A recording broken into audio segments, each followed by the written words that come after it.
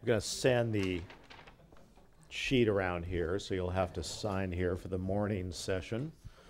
Um, nah, okay, so. All right, now let's move along here. So, again, for the continuity of the lecture, and just for the fact that a lot of questions I think will be answered as we I complete the analysis here. So we'll, I will take, definitely we'll take questions on this topic because this is one I know uh, everybody except for two of you have questions on. So, uh, so, all right. So, so as we think about these scenarios, and again, some of you asked about the trying to abbreviate here. It's one of my on my to-do list with the other 20,000 things is to actually make a fleshed out full full chart, uh, putting this thing to make it to simplify it for you. But um, point is, look, hard determinism can't be otherwise will is caused by external, immediate, efficient cause. You don't move your own will. There's no secondary causation. Boom. Here, things are determined in the sense that you know they're going to happen and they can't be otherwise.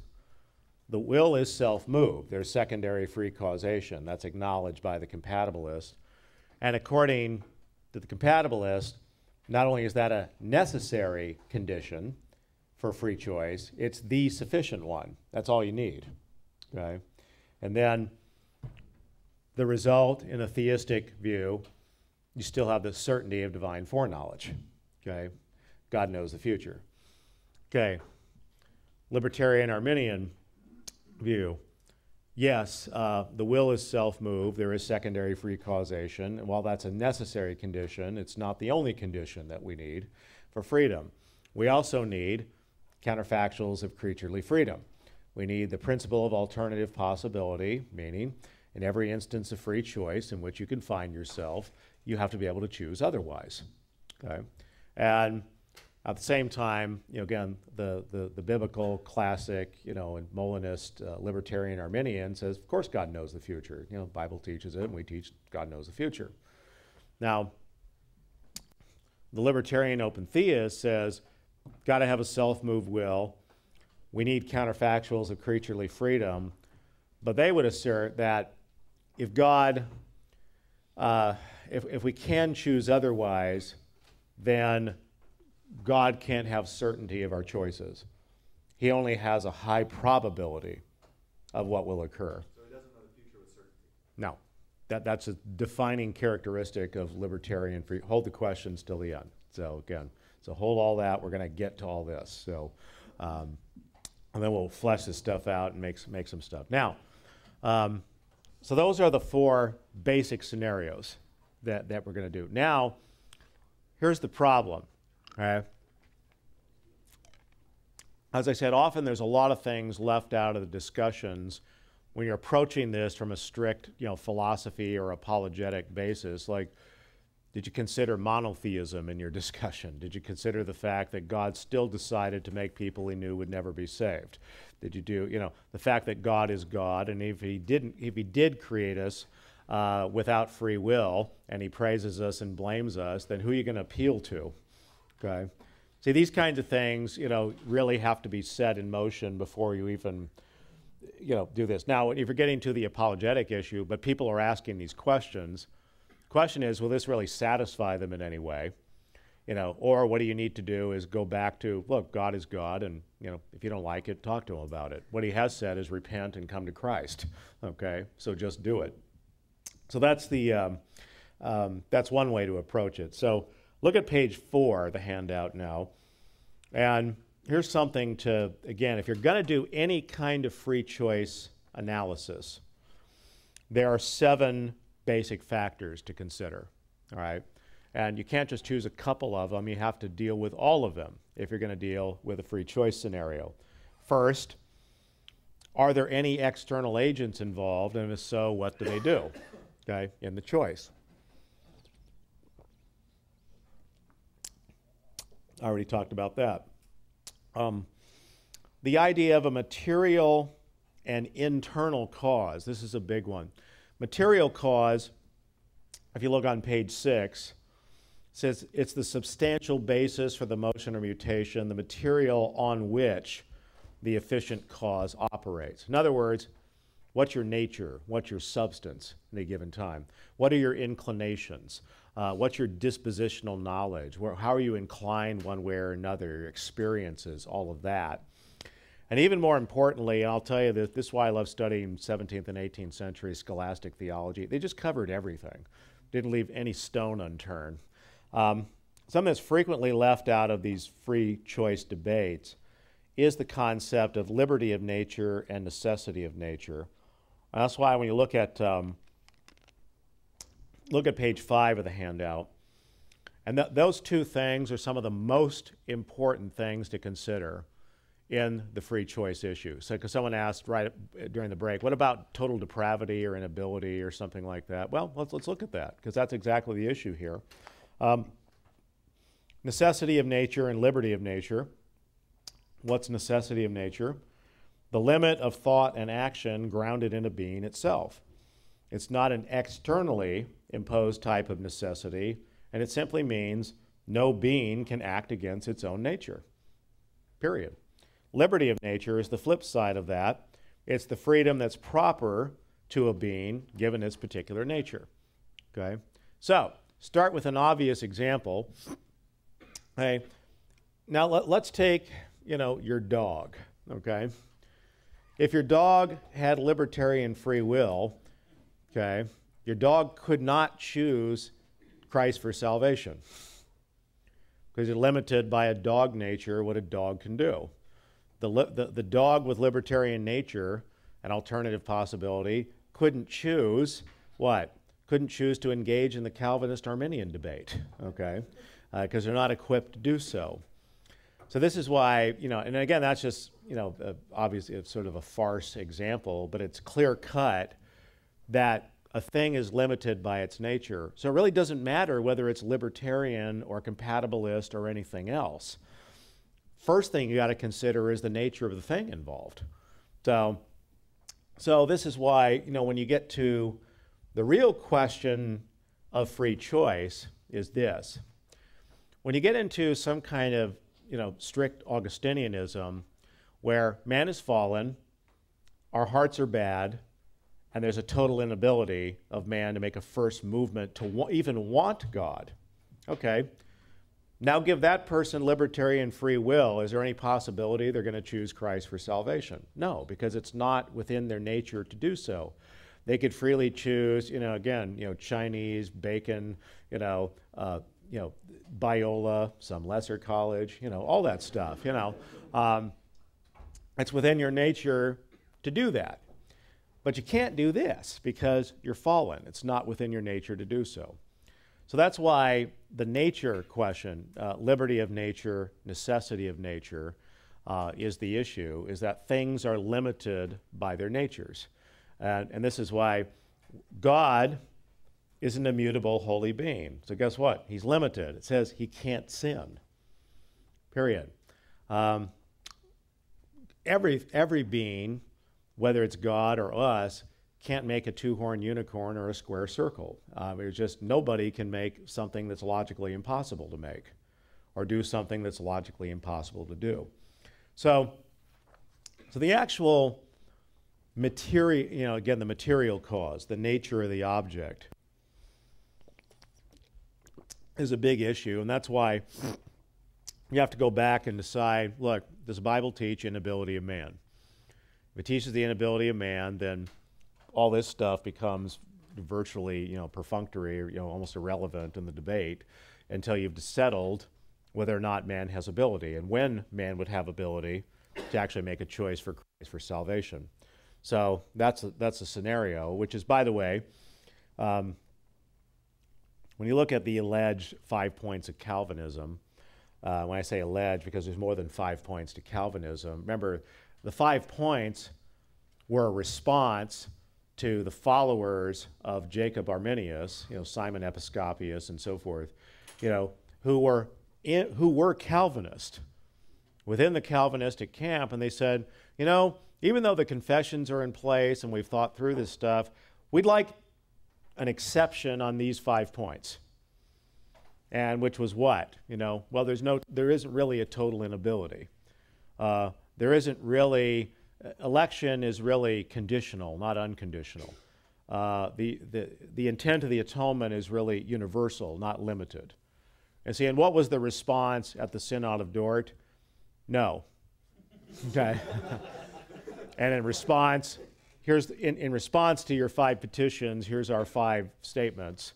And uh, no, this is what we currently hold. It's in our creeds and confessions. And if you don't like it, you know, there's the libertarian door. Uh, so, so that's, uh, and that's when you saw the beginnings of the Arminian denominations and so forth. But uh, point was is that this started as a controversy within the Reformed or Calvinistic uh, uh, circles, and from that we saw the the Arminian denominations form. So, so on that, so you have material and internal causes, big one. Back to page four. Number three, how does God fit into the picture? Um, see, getting to this is meaningless in monotheism until you've gotten to the decree, divine omniscience, uh, divine pro, all that stuff, how, how God really thought about it, decreed it, worked. You know, this comes afterwards. So, but see, if an atheist is trying to think about a free will question, again, you know, there's the question. There is no free choice in atheism. You're just dust in a blender, and um, you know, what what physical particle is self-moved instead of moved by something else? You know, that that's always the biggest problem is that there really isn't any life and matter in and of itself. It has to be animated by something else or moved by something else. So you have to get hard determinism in, atheist, in an atheistic physicalist world. So, how does God fit in the picture? Uh, the practical intellect, okay? Uh, how does the, you know, again, how does the intellect precede the will? What are you deliberating about? You know, what's your knowledge that you have? Um, the goodness or evil of the object itself, you know, that's part of the, uh, again, subset of the material and internal causes. Um, think about free choice. How about the event itself under consideration? I mean, think about this. Right now, can any of you in the next two seconds decide to go swimming and actually go swimming? No, because there's no, you, yeah, you can decide to do it, but can you actually choose to go swimming right now in the sense of engage in the act of swimming? No, there's no water around, okay? So every free choice, yeah, but you know, water in your mind doesn't count. Okay, we're talking about water in reality is what you need. The point is, every, you know, uh, every single free choice you make is dependent on your antecedent and concurrent conditions, or even we think about, uh, you know, uh, second order, first order choices. You know, you have a, for example, if you don't know how to speak Swahili, you can't freely choose to speak Swahili right now. But you might have a, a, a second order capacity of language learning, learn the language, and then you'll have a first order capacity to speak Swahili and freely choose to do it. So, so even that, you have to think about well, what's the event I'm supposed to be freely choosing? Okay, involved. And then in the free choice analysis, the very the, the issue of existence. Um, we got right back to our scenario in the decree. This is where people get, uh, get really interested about this stuff. But on election and reprobation, that's what we're really concerned about. Praise, because that's praise, blame, right? You know, good, bad. That's the. Uh, um, the point is, is see, when we start using language like foresee and something like that, it, it can't be understood with the existence of the object in mind, that you're really sort of perceiving the object in mind, and that it's really, this is still God just thinking, conceiving of scenarios, things, you know, people he might make, situations in which he can place them. Uh, and so again, you know, say, so what does it mean to foresee that someone will believe or would believe? Uh, so and uh, so, so that becomes part of the, again, the scenario here. So all of those have to be part of your free choice analysis. You would have a complete free choice analysis. Um, now, what's important here, bottom of page four, clarify the type of cause. Okay? Um, in other words, if you're going to say cause of the will, this is what goes on. Do, what do you mean? Efficient, impelling, proximate, material. If you don't decide this uh, and you don't clarify, it's going to leave people wondering what you really mean. Okay, so that's the um, those are the basics of doing a free choice analysis. And now, when we get to the doctrine of the divine decree, which we're going to get to now, and sort of thinking about the, the aspects of it, we're going to talk about how that relates to sin, agent causation, efficacy, uh, and all of that. But see, now go ahead, a couple of questions if you have questions.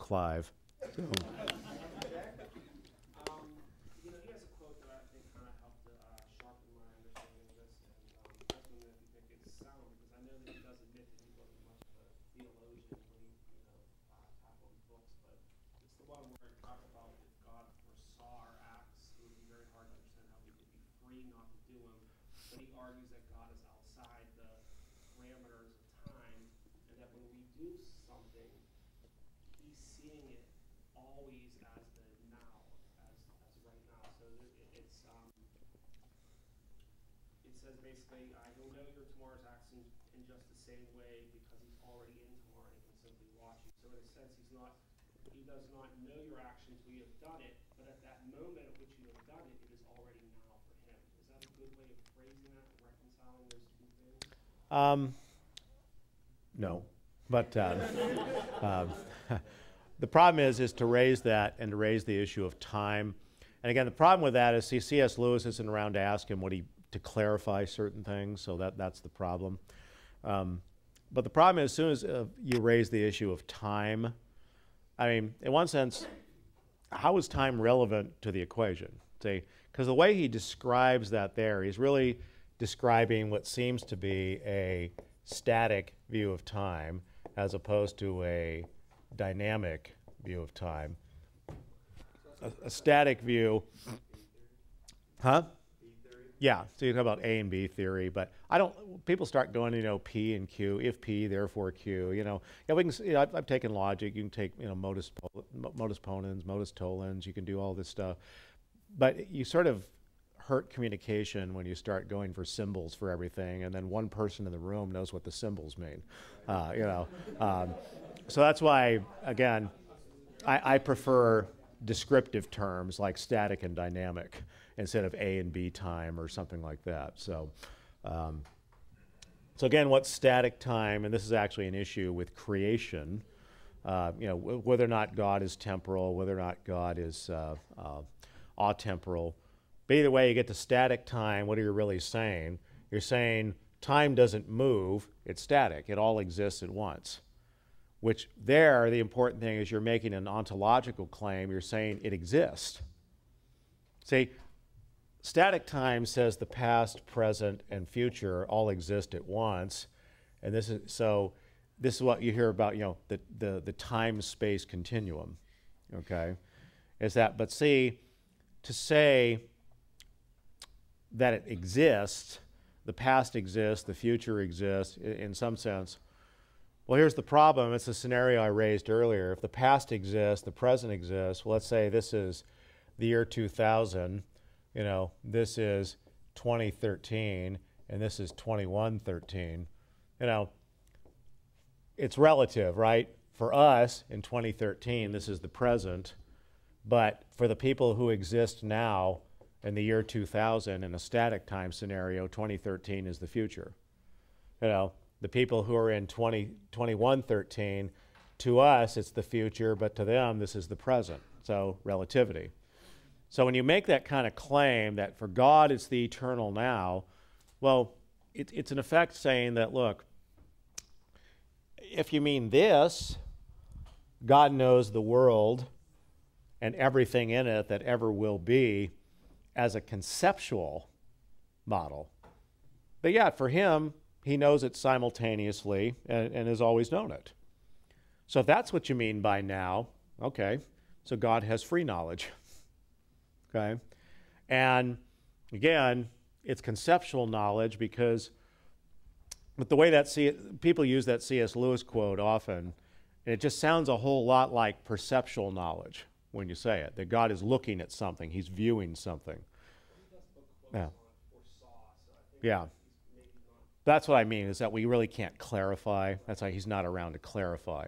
So that's why we have to clarify ourselves. Well, if it means this, then it means God's got an eternal creation that He's looking at, and for them, in the sense, it's an eternal now, uh, which is no, that can't be true because the doctrine of ex nihilo creation and so forth. So, so that's the problem there. So again, we stay here in conceptual knowledge, and in that sense, yeah, God has a con- conception of everything that will occur, and at the same time, when He creates the world, which continues to exist in chronological succession, um, then does he know at every given moment, everywhere, at all times, exactly what will happen? Yeah. Yeah. So he's not only got a conceptual knowledge at that point, but once you've got creation, he also has a perceptual knowledge. Because now something exists to perceive. So that's why you have to, you know, clarify it that way. Go ahead.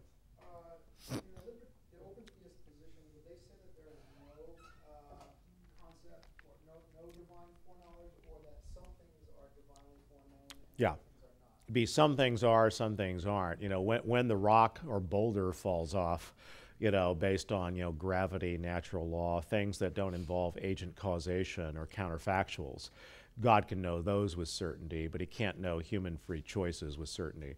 Problem with, with doing any of this kind of stuff is that there isn't a single like ecumenical creed of uh, you know uh, of open theist where you can say you know this is exactly what we believe on everything what you got to look at are individual writers like Pinnock and Sanders and Boyd and, and, and people like that. Um, so yeah, they're going to say something God knows, but he's going to say what he can't know. It doesn't say he doesn't. It says he can't know with certainty what we're going to, what any agent with libertarian free choice would choose in any given moment. Okay? Yeah. It seems like they're all kind of connected because you might know the rock or the boulder is going to fall off the cliff. That happens naturally. But sometimes we as agents can push the rock off the cliff, and that might, you know, be the first domino that causes. Yep. like Yeah. Well, I see. I agree, and I think that's the the, the, the correct scenario uh, on that. That uh, so you want to try and save some divine foreknowledge, but not others. But I agree that you know, well, if you and your free choice, you know, move the rock, uh, you know, then God didn't know you're going to move the rock because that was alternative possibility uh, that you had an ability to do. And that's the, uh, you know, that, that's where you end up. Any, uh, yeah. One thing I struggled to understand was Helm's characterization of grace as efficacious, in the sense that it is one way unilateral, it's irresistible, but then he says that for people who resist it, it's no longer efficacious. And so I was, I was trying to sort of reconcile Helm's characterization of that. And for him, he's apply grace, the notion of grace within soft compatibilism, but in the end, I was, I was sort of lost in terms of him trying to explain that both that on the one hand, it makes sense that grace is unilateral, it's efficacious, it's not a parallel type of relationship, but then on the other hand, it, it still can somehow be reconciled with people receiving it or not. Yeah, and again, I, I can't remember exactly what he said, but if that's what he said, I, I don't understand what he said either. So, I mean, because, Well, how do you understand efficacious? well, again, it, it depends. See, when you say efficacious, uh, if you're if you mean that, how do Calvinists teach what efficacious grace is? Okay, because when you talk about everything from prevenient grace, something that comes beforehand, Calvinist Arminians have different views of what prevenient grace is. Um, efficacious grace, if you take you know the concept of what's efficacious, and the real issue there is that it's efficient. Okay, it's efficiency. In other words, it actually effects that which it intends to effect. That's what efficient grace is, or efficacy, or so. That's why you know more precisely efficacious grace in salvation would be the kind of grace that, if it's given, will actually affect salvation. So this is why in the, uh, again, in the, the Calvinistic total inability scenario, if man can't make a first movement to God, then is there anything, well, first we'll see, is there anything we can do for salvation? No. You know, there's righteousness can't come through the law and all that. So, but either way, um, uh, we have to, we still have to have faith. And, you know, again, we'll look at the sole condition for salvation is faith. Uh, so, you know, that's, that's what we have to do, trust God. Now, efficacious grace, the way it is generally construed in the Calvinistic scenario, is that if God wants you saved, He already has the elect in mind. He gives you everything you need to be saved, and you will be saved. It's efficient. God doesn't fail in what He plans to do. That's, so, generally, that's what that means. Now, on a more precise level, when you look at what they call the order of salvation, that's going to differ between the Lutherans, the Arminians, you know, the Calvinists, and you know exactly what the order is of faith, regeneration, and how all that works. But um, efficacious grace for the confessional Calvinist ultimately is going to be regeneration, okay? Because you can't, a leopard can't, according to, you know, if you're total inability, you need your nature change before you're going to have faith. So f- regeneration, logically and causally, has to precede faith in the individual. But if you're regenerate, then what are you? You're, you're already saved, and then the other things are going to naturally follow. Uh, now, saved, that's where we're going to get to that. Saved means justified, adopted, regenerated, and all those things. But ultimately, if God gives you a new nature, where now you, your heart wants the things of God, and you don't have a total inability, uh, again, the, the, the way the scenario is, is that, well, that's done in the context of gospel preaching. And then, because now you have a nature that wants to respond, you understand your condition uh, of, you know, that you're in, and now you want to respond because you have a new, a new nature. So, so the question, so, the, so the idea of, you know, how, if that's what he said, and I don't remember exactly how he said it in the book, but I think he, that was close. Um, remember, that's the liberty of nature, necessity of nature question. If there's total inability, offering, saying I'm offering someone efficient grace, um, well, what does that mean? Well, in a in a scenario where you have ability, that can be I'm offering you the gospel, and you have the you've chosen to refuse it. Um, you know, and you could choose you could choose to accept it or not accept it based on your nature. You're not fallen enough to have a total inability. If you have a total inability, I can offer you up the gospel, you know, 94 different ways, give you, you know, the best apologetic arguments in the world and, you know, everything else, and you're never going to believe unless you're regenerate and God changes your nature. So that's why the nature question has to come first uh, in these scenarios. So that would be, depending on what you understand, efficient grace, prevenient grace, what comes beforehand. Well, everybody's got scenarios. You have to hear the gospel. You have to hear it in meaningful ways.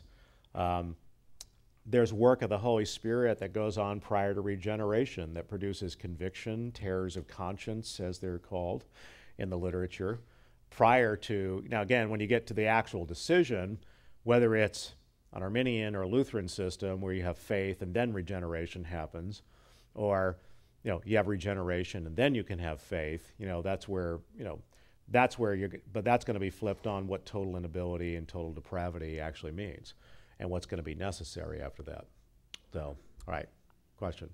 I'd love to hear where you stand, if you could explain to us where you stand and what on these things. Well, on that I try not to do that in class because, uh, uh, yeah, I know some, some people do that, but uh, uh, only because, look, we, we got a mixed scenario here, and what I'm trying to do is objectively put everybody's view out there in the best way I can.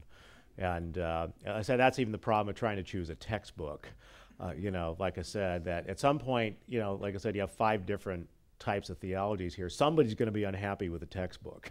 Uh, so, I mean, for, I mean, for example, you know, I'll, I'll tell you. I mean, um, for example, I tell you the. Um, uh, you get these views books too. There's always one that's just better argued in the book, uh, even though why didn't you use a different views book? Because you know my position wasn't well represented there or something. Uh, so, Now, all right, I'll give you, f- I'll assign 50 textbooks for the courses, and uh, you know, um, you know, I, I, I can do that. But now, if you want to talk to me about my view, come come see me privately, and you know, again, uh, on discretionary views, I try not to take a position in class, and the fact that you have to ask me that, I think is I'm keeping it as objective as I can. So, uh, so I appreciate that. So, all right, but the um, um, one thing before we move on, I don't see any more questions. But uh, again, the point is, look, look, we're doing this from the Bible, we're- we're- and that's why we got to take everything that God says and apply it to the question. And you know, the certainty of divine foreknowledge. By the way, God makes foreknowledge a defining characteristic of who He is. If you don't know the future, you're not God. Period. And this comes out forcefully in a number of places in the Bible, but it comes out frequently in the servant songs section of Isaiah.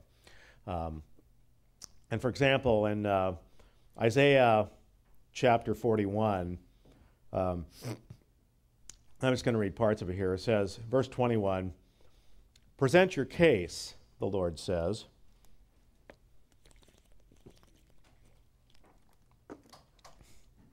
Bring forth your strong arguments the king of Jacob says, Let them bring forth and declare to us what is going to take place. And for the former events, declare what they were, that we may consider them and know their outcome or announce what is coming. Declare the things that are going to come afterwards, that we may know that you are gods. Well, you can't declare with certainty what's going to come afterward. You're not God. So God, God makes the certainty of divine foreknowledge a, a defining characteristic of who the true and the living God is.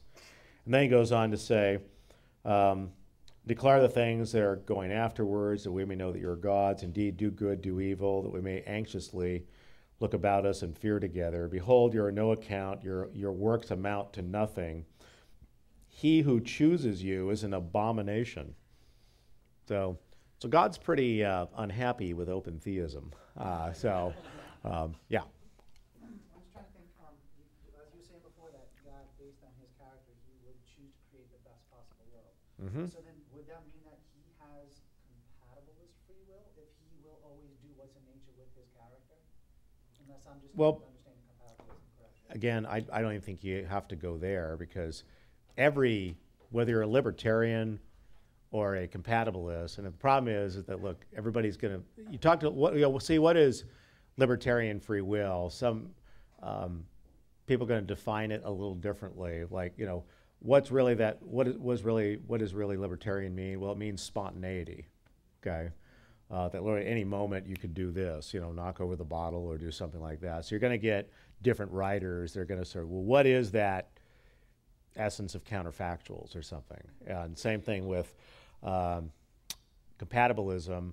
Again, that's going to get flushed out in different ways too. So um, the whole point is you just go right back to doesn't matter what kind of nature you have, a thing can't act against its own nature and is limited by its own nature what it can do.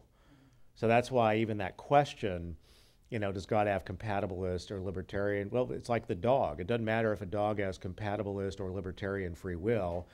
He can't choose Christ and he can't choose to engage in the Calvinist Arminian debate.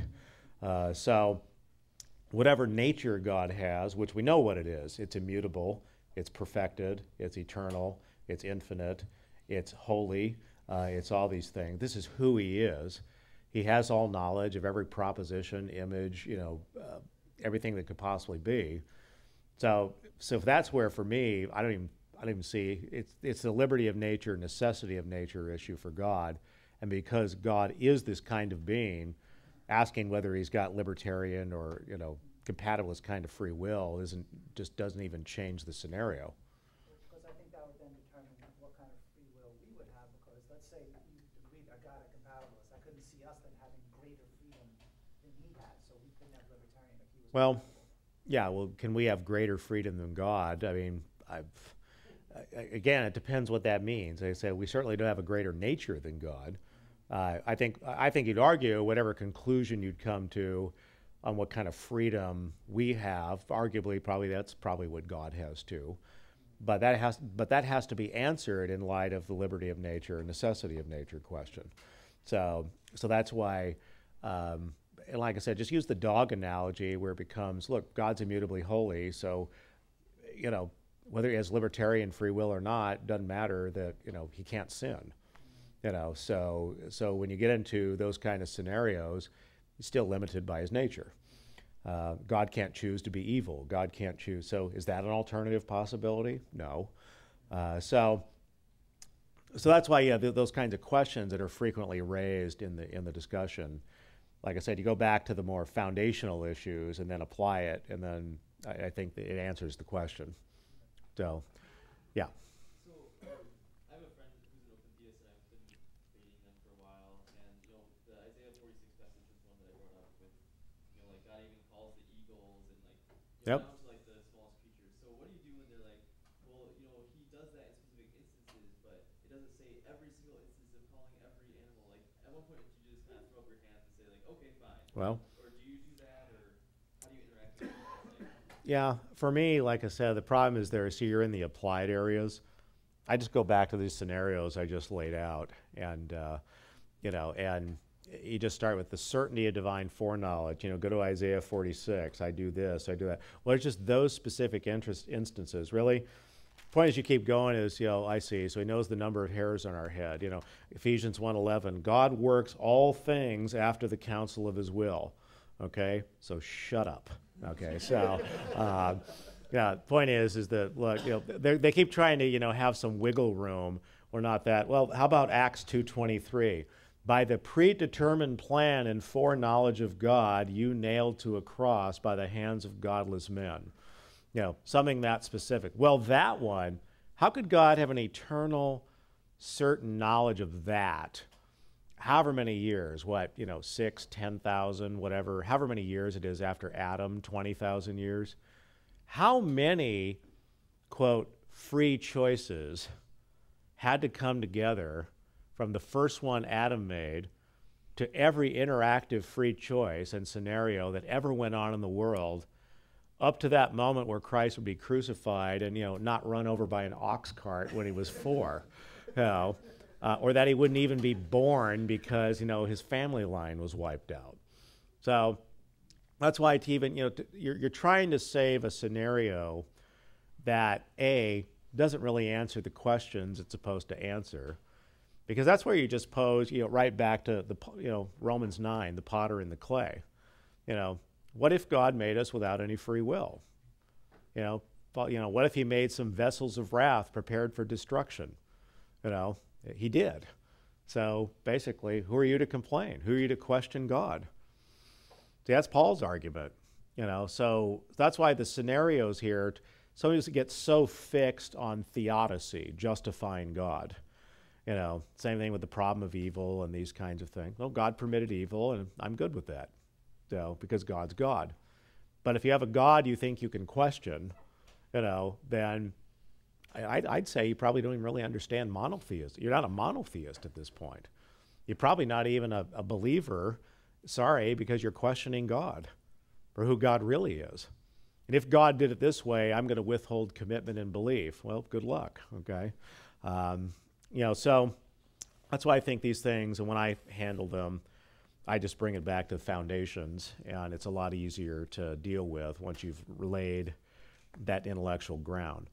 You know, it's like dealing with a Mormon. If you're here trying to argue Book of Mormon versus X, forget that go to total apostasy and Joseph Smith the prophet and that stuff, then you don't have to get to five layers down the road, you know, what, what they're thinking or doing.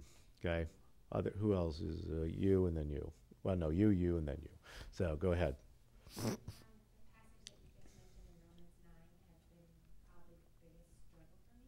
the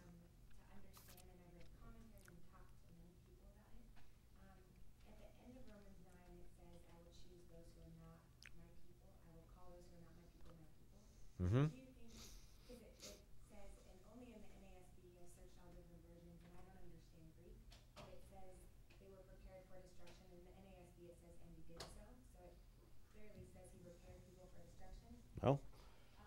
I hear. the ending of Romans nine would mean that, um, because he called those who are not his people his people, that that doesn't necessarily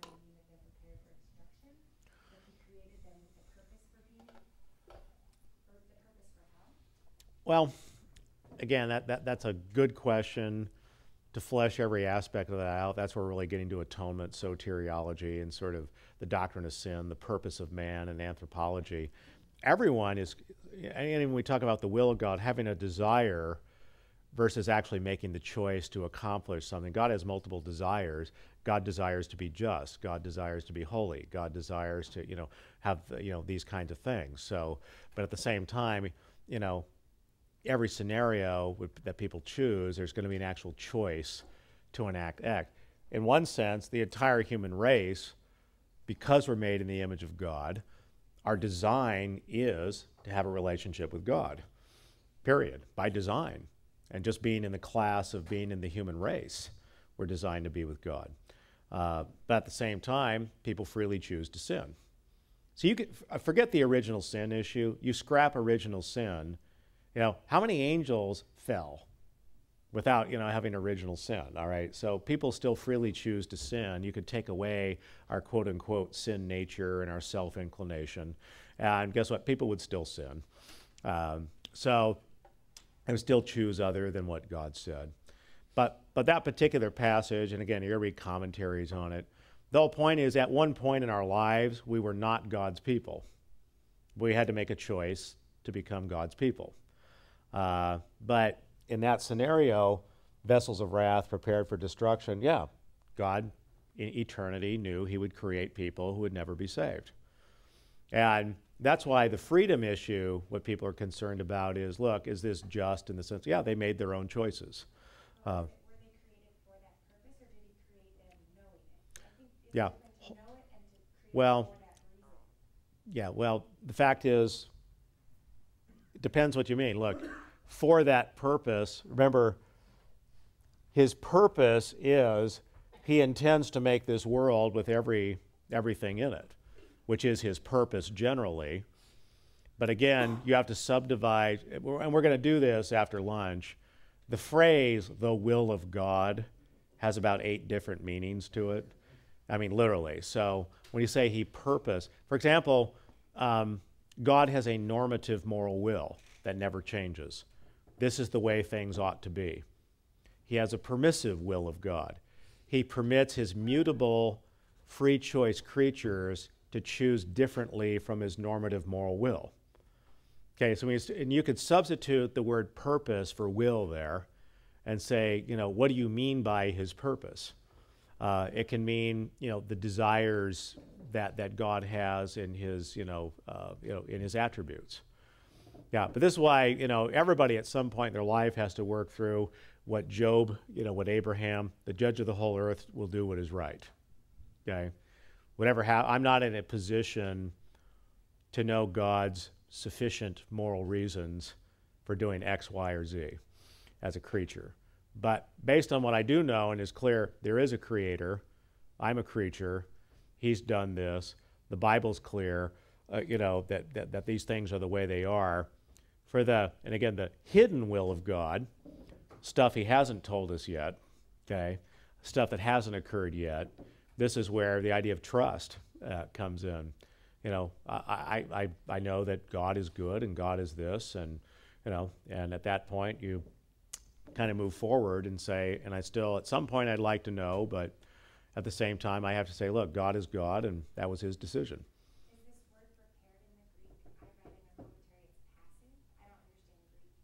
I, I don't know. I'd have to look at that. But, uh, but the idea of preparing, uh, again, it still has some sense of foreordination. And it, forget the specifics on that. It comes in advance. Prepare. Uh, so that, that's if you want a very a minimalist understanding, whether active or passive or something, it's prepared in advance. And remember, right back to the scenario, we don't exist at this time. Only God exists. He thinks about the possible things he can make and he decides to make the world that he wants to make. Okay? And then we see, you know, everything that God decrees is going to come to pass. So, you know, for that, time for about one more question before lunch here, if you have any more. Yeah. I have a couple of questions that let's see which ones you can answer, but thinking of perceptual versus conceptual knowledge before creation started, um, so we only had conceptual knowledge because there was nothing to perceive Does Well, yeah, because perceptual knowledge there by definition, as I'm using it here, would mean something that's external to God and, and it's a posteriori kind of knowledge. It's, it's from some kind of external sense experience or something. Uh, on this scenario, there is nothing external to God, so we can't have perceptual knowledge.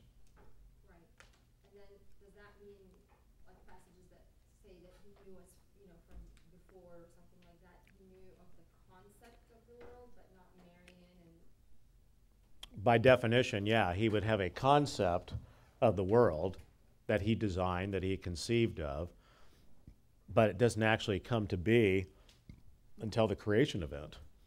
And even then, uh, you know, you didn't come into existence, you know, until whatever your mom and dad, you know, did what moms and dads do, and uh, you know, uh, all that. You, you didn't exist at the first moment of ex nihilo creation. You know, the physical stuff, particles, things like that, may have existed that eventually might become your body. Uh, but um, you know, but even the point is there's a chronology even to bringing this stuff into existence, organizing it, fashioning it, you know, and carrying out the order of the decree. So, uh, so that's where, yeah, you, you God would have to have a conceptual knowledge only before creation, and after that he'd have a conceptual and a perceptual knowledge. Okay. and my other question is in regards to min, um, certainty of divine foreknowledge under soft determinism. Mm-hmm. Um, I don't, I, I did not catch how we can maintain that there is free choice. I mean, people are choosing Well, based on their intellect. it's free because remember what is free? It's i erased it up there already but free minimally means free from immediate external efficient causation. Your, the movement of your intellect and will is not moved directly and immediately by an external agent cause you know and it's the efficient cause. Like i'm sitting here push my water bottle say my, my, my finger pushing it is the efficient cause of the movement of the water bottle okay? Um, point is is that see both the compatibilist now the determinist would say yeah that's what you move your will that's what's going on. See something or someone is basically doing this uh, and doing that you know pushing your will or an intellect one way or the other. So your thoughts and choices are only the effects of something external to you okay they're not self-moved where the compatibilist says no we are free from ex- immediate external efficient causation. And as they hold to secondary free causation, God may be the first cause in everything in acting out the divine decree and divine providence, but the movement of our intellects and wills are really self-caused. Okay, we, as act agents and souls and so forth, are the efficient cause of our thoughts and choices, not by anything external to us. So the compatibilist says anything more than you know that that's all you need for freedom. We're free from external efficient causation. So that's free choice. But the but but the libertarian says no, that's meaningless because it's you know again there's you can't be otherwise. So what meaningfulness is there to the freedom? So you have to have counterfactuals of freedom. But the compatibilist says, yeah, grounding objection. Okay, then what's the ground for divine certainty? Uh, because if you really can choose otherwise, then how is there a one to one correspondence with God's idea and proposition and the mind independent reality? If you really can choose otherwise at any given moment, uh, uh, God can only have a high certainty. Uh, and again, that's where the, actually the grounding objections, uh, the compatibilist essentially says grounding objection. Uh, so we're scrapping counterfactuals of freedom. There is no uh, principle of alternative possibility. So what you've got now is so what we're going to maintain the certainty of divine foreknowledge and scrap alternative possibility. The open theists also think the grounding objection is forceful and persuasive, but what they scrap is the certainty of divine foreknowledge. You're right; it can't ground. Uh, it, it can't ground divine certainty, but libertarian free will is so important. We're keeping that, but scrapping divine certainty. Is, is there any, uh, is, is there any, uh, valid validity to that, uh, argument that there's no grounding? Well, that, that's exactly what the compatibilists, the Molinists, the simple foreknowledge Arminians sit there and debate left and right on, you know, again, the, the compatibilist and the open theist thinks it's a great, it's a great argument. Uh, you know, and, um, uh, but the, the libertarian, either simple foreknowledge or, uh, or Molinist Arminians, don't think it's a good argument, and they think that the grounding objection can be overcome in a number of ways.